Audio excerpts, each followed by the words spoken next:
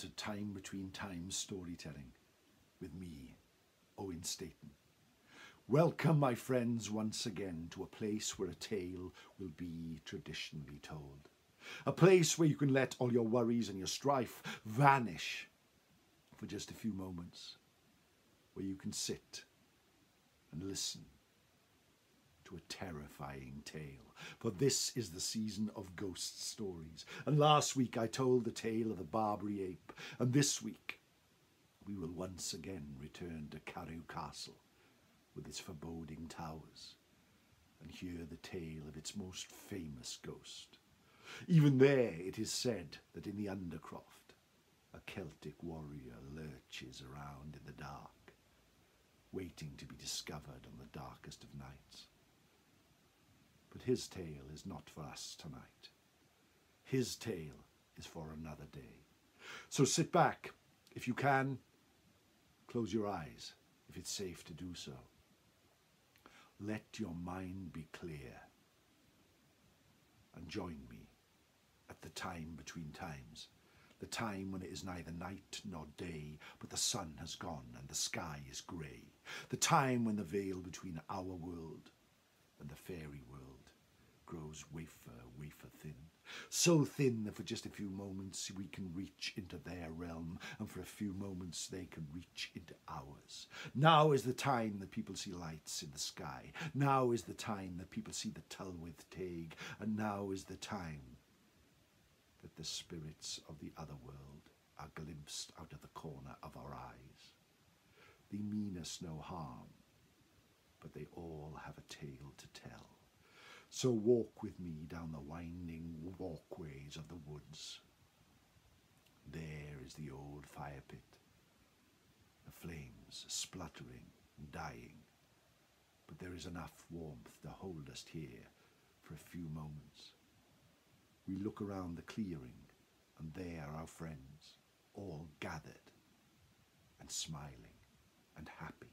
Far away we can hear the howl of wolves. Far away we can hear the howl of bears, but we know we are safe right here at the time between times. Sit back as I tell you the tale of Princess Nest of Deheubarth. Princess Nest was the most beautiful woman in all of Wales. Her hair was dark and pitch, her eyes were as deep as the ocean, but she was a kindly soul. She was the daughter of Rhys ap Tewdwr, living in Pembrokeshire, beautiful part of a beautiful country. And there she dispensed wisdom and kindness to all who came to see her. But her father welcomed local lords to feast and to dine, and all of them would marvel at the beauty of Princess Nest. But one day, travelling from afar, became the most important visitor of all, Henry the First from London. He walked into Nest's father's hall, and there he saw the beautiful princess sitting, the sunlight from a roof window glinting off her hair. He instantly fell in love, and they began a small but brief courtship, one of which a child was born. Of course, Henry was married, and Henry lived 200 miles away. In order to avoid embarrassment, such things that a king used to do, he forced one of his constables, Gerald de Windsor, to marry Princess Nest. It was on a sunny day when the sun roasted the fields of Pembrokeshire that Gerald rode on a great black charger to the hall of Nest's father his heart was dark, his mind was full of anger, for he already had a mistress, and he did not want to marry this girl he had never met. But as he approached the castle, he saw standing on the battlements the most beautiful maid anyone had ever seen. They talked, and the day turned to night, and both of them knew that they had met that person who was true in their hearts. And again they fell in love. They were married and all the locals rejoiced. Gerald de Windsor and Princess Nest of Deheubarth were married and they built a castle, a wooden hall, great wooden stakes in a circle around it, and they ruled with kindness. But being a lord, Gerald had to welcome other lords.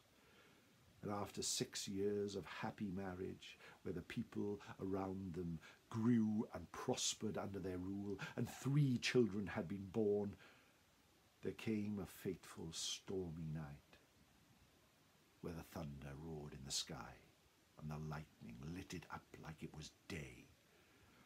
Local lords gathered, and among them was one of the Welsh lords, Owain of Cilgerran Castle, an old cousin of Nest's, but they had never met.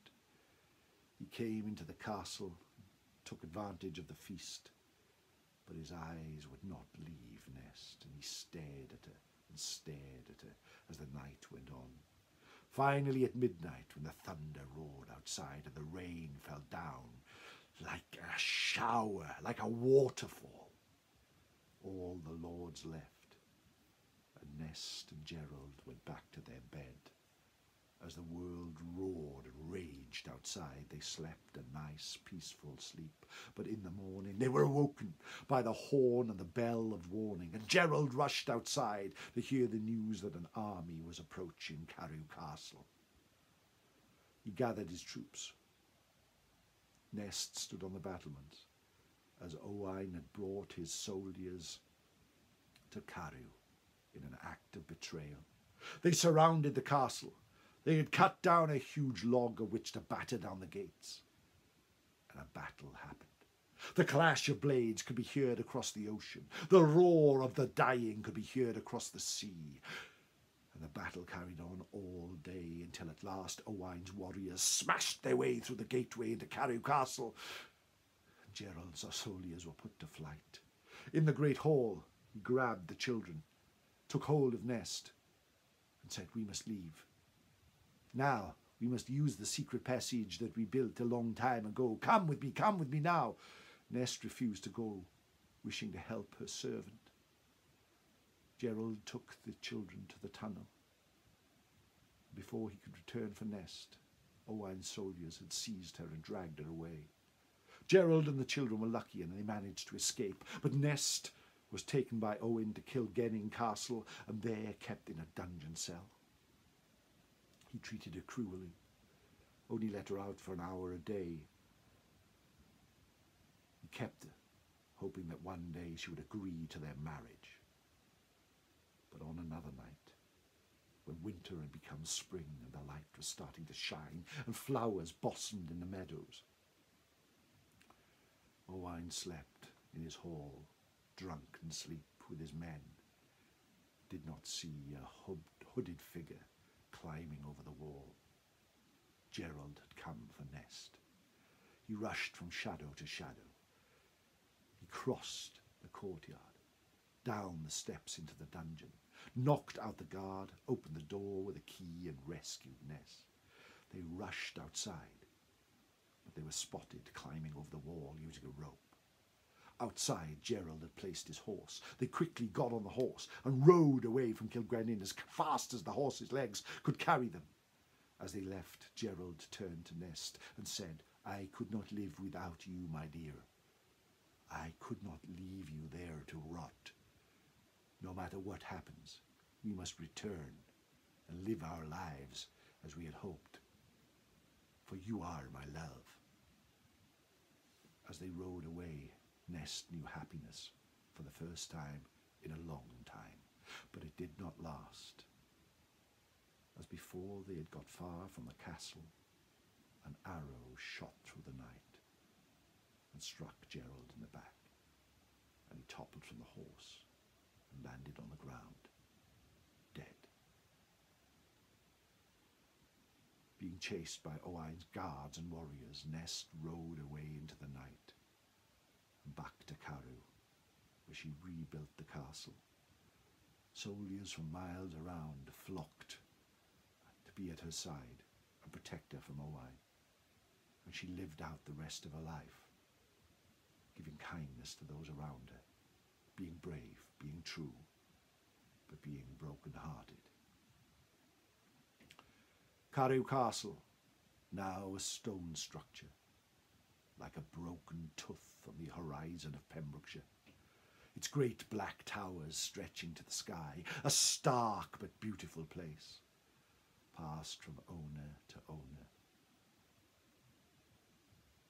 But when the moon shines bright in the sky, on a still day, where you could, you could feel a leaf fall from a tree, Princess Nest, the White Lady of Carew, can be seen wandering around the courtyard, her white flowing gown, her eyes as deep as oceans, but tears falling from her eyes.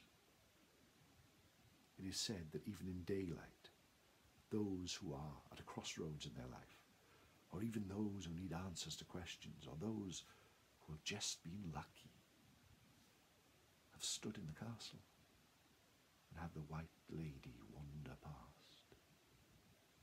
She has seen many times the light to the Barbary ape's darkness, Princess Nest of Deheubarth, the White Lady of Carew Castle. And that, my friends, is her tale.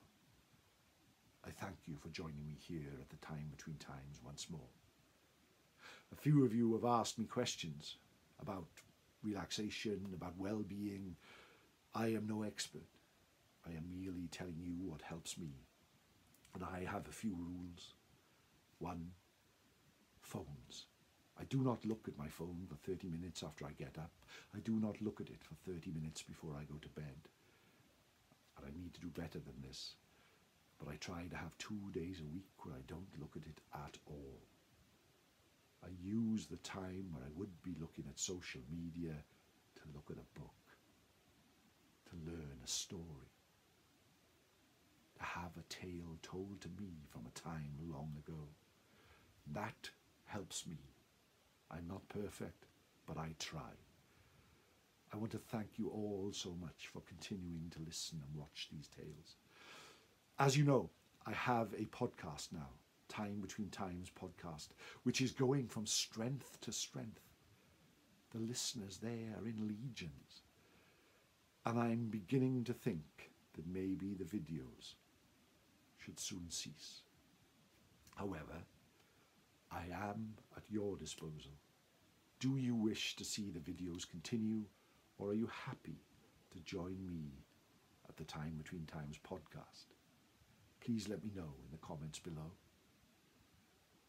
If you wish these to happen, they will. If you're happy to go to the podcast, then I am happy as well. Thank you very much for joining me. Thank you for all those who are supporting me on Ko-fi or whatever. I thank you from the bottom of my heart. This is a place where I am given a stage to tell my tales in even the darkest of days. This is a place where we can all join and listen. So join me next week, where I will tell you another ghostly tale as Halloween approaches. And I will also put a little poll on Twitter this week. What type of tales would you like to see or hear after the ghostly time has passed? We shall see. Diolch yn fawr am gwrando. Thank you very much for listening.